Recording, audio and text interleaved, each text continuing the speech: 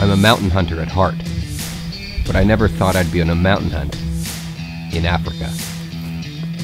We're trying to complete the Royal Macnab, a mountain reed buck, or Vaal Rhebok, gray-winged francolin, and wild trout on a fly rod, all in one day between sunrise and sunset. This is a this is a destination that's worth uh, taking the time to travel far to. Once you're there, you don't want to leave. It says they'll chop your nuts off if you have a wee in public. Were you just trying to go pee over there? Yeah, By the chop your nuts off sign. the, the sign gave me a fright. Yeah, because look, dude, they have a business here.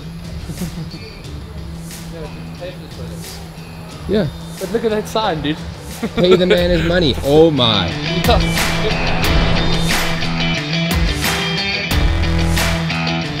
excited to see these mountains. Apparently, we're hunting at like six to eight thousand feet or something like that. And so far, everything's just been thick bush and pretty flat. But now it's almost. It reminds me of Alberta. It's foothills and almost like Drumheller.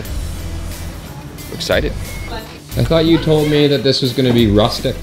This Rustic. is rustic. Like in a tent. No, this is sweet.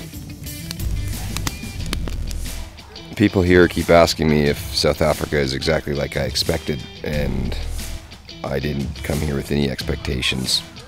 Been here for a couple weeks, and now we're in the mountains, and this is definitely not what I expected. It's below freezing this morning. Foothills landscape, but we're staying in this little cottage. This is posh hunting for sure, not bush camps like I'm used to. very, very nice to wake up to this view for sure. But um, yeah, we're just going to kind of just relax today, climb the hills a bit with Brandon, show some countryside off, and uh, yeah, kind of just stretch the legs and uh, warm up for tomorrow's challenge. We're looking very forward to it.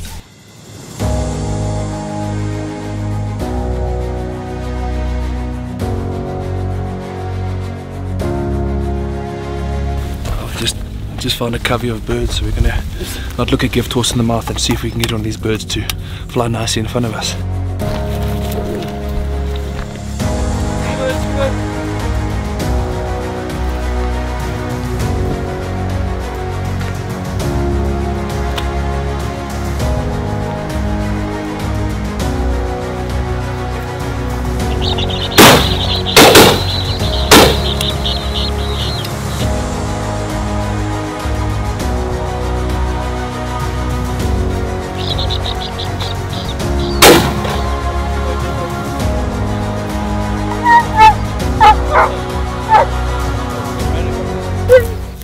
Managed to get a brace of grey wing, so first part of the Macnab is done. But uh, we've been looking at for the last 10 minutes trying to find the second bird that I shot.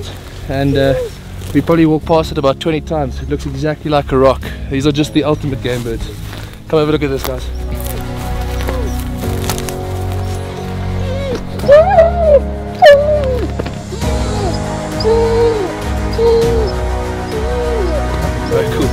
Well, here you have it, guys. This is a brace of grey wing over here.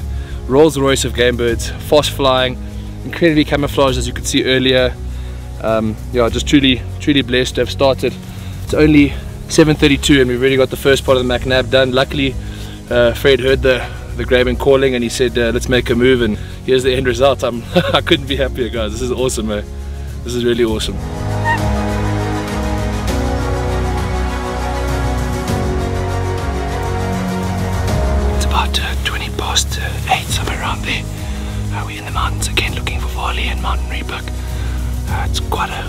A day, it's actually the perfect day, so let's see if we can get on some, uh, some uh, mountain critters, some South African sheep.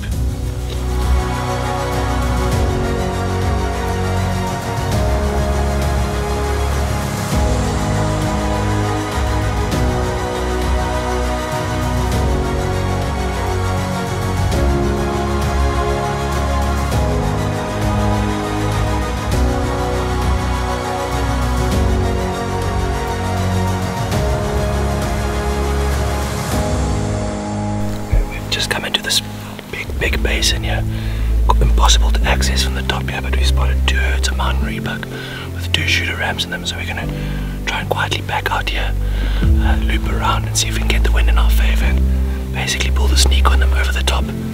Uh, but they're two great rams, so hopefully we can pull this off, but it's gonna be a it's gonna be a big hike for sure. But uh, let's see what happens. You never know what's around the next corner.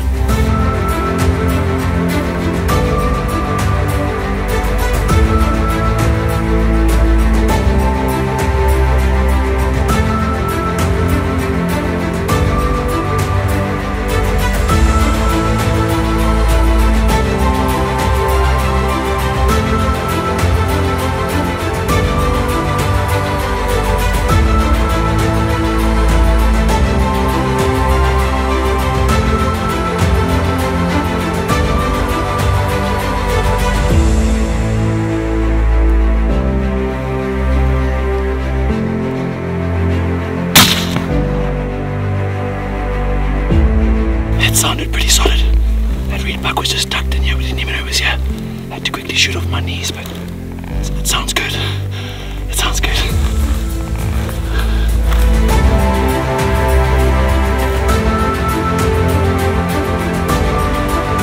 How's that for a beautiful mountain reedbuck? Well, here we have the the beautiful mountain reedbuck. Uh, this is the, the the first part of the Macnab. Um, we saw a whole bunch of well, a whole bunch of mountain reedbuck this, this morning. Um, we saw a whole bunch of ewes now, but we couldn't find the ram. And true as Bobby was just just tucked away just below us, and he popped out, didn't know where we were, and gave me about a 90 meter shot somewhere around there. Uh, didn't want to shoot off my knees, but it was nice and close, and he stood beautifully. And um, yeah, we recovered him, and they really are just incredible animals. Um, just after 10 now, so we're going to go and pack this thing out. It's going to be a bit, a bit of a climb, but um, yeah, once we've got him packed out, we're going to head to uh, head to some lakes and uh, some rivers and whatnot, and see if we can try and get a wild trout and fly, and uh, yeah, hopefully we can get this Macnab in the bag.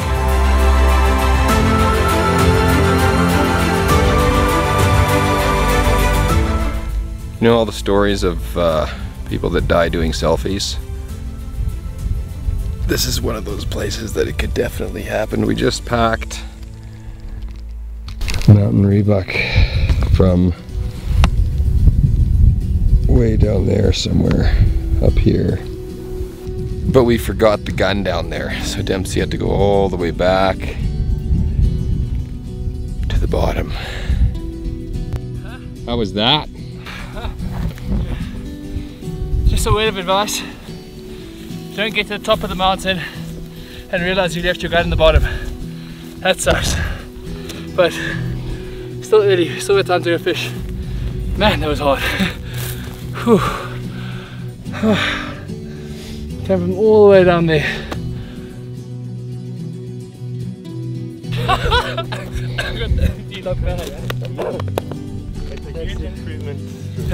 that was uh, that took a bit longer than expected, but uh, yeah, we're gonna go and flash the water a bit, and as Fred says, try and rip some lips and see what we can come up with. But uh, we've still got lots of time at least, so looking forward to the next step. Except that I was watching these guys fish the other day, and they struck out hard at the exact place that we're going. How are we gonna fish? How are we gonna fish? Oh. We'll make a hole in the ice. We're gonna have to just fish where there's where there's holes. Just here. And have to go and fish for that goldfish in my daughter's room. we got to the got to the lake here and it's uh, frozen over. There's literally just a couple of segments or sections where you can actually get a fly out, but it's straight into the wind. So this is a yeah, this will be a serious challenge. I don't know what we're gonna do, but uh, let's give it a bash. Let's see what happens. Still got time.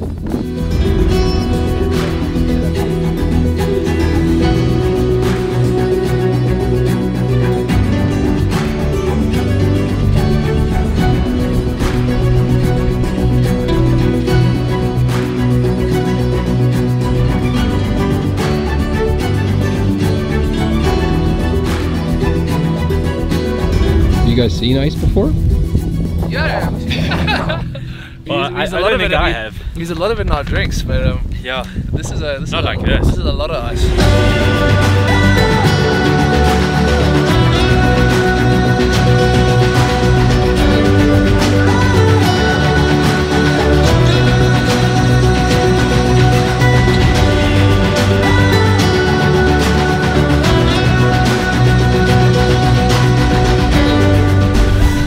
There you go, guys. Uh, gave it a full attempt. Unfortunately, the uh, the other side of the dam that we wanted to fish froze up completely, so we had to basically cast into wind, or direct into some heavy winds the whole afternoon. Made it really, really challenging. Um, but you know, that's nature. That's part of the Macnab. It's a challenge. Um, these mountains are, are a drug. They'll keep pulling you back every every single time. Um, yeah, I. Uh, I'll definitely be looking forward to my next one and on the next one hopefully you can show you the full result but um, yeah it was a great experience. And thank you Fred. Appreciate it. And thanks for Rudy and Brandon on the camera. Uh, yeah it was just uh, yeah the ultimate sportsman's challenge and that's why it's called the Royal Macnab you can't ask for more